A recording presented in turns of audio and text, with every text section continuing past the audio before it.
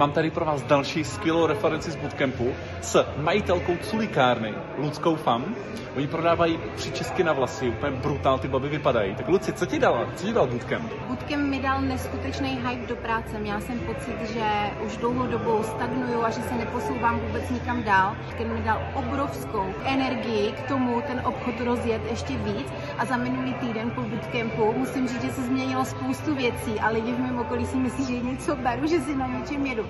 Já vstávám každý ráno 6 hodin, abych mohla být v půl sedmí na výkopech a dává mi to obrovskou energii na celý den poslouchat ty úspěchy těch lidí, ale hlavně podělit se o svoje úspěchy s druhýma a perfektně se tam podporujeme a ta energie pak ten celý den se se mnou nese, ale reálně jsou výsledky. Já jsem za minulý týden vlastně prodala nejvíc příčesků, který se mi kdy podařilo za jeden týden prodat.